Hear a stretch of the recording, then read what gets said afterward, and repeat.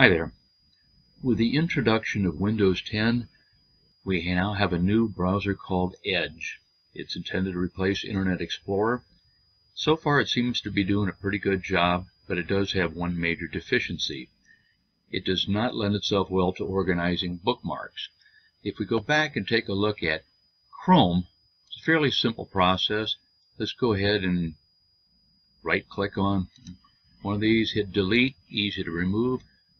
Take another one, just drag it and moves it. You can't do that with Edge. Let's take a look at Edge. If you click drop down here and right click on that, nothing. Trying to drag it, nothing. What you have to do is go up to these triple bars, click on that.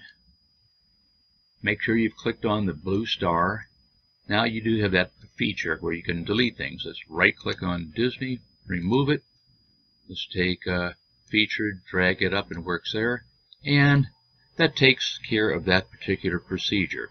A little more cumbersome, not intuitive, but now you know how to do it.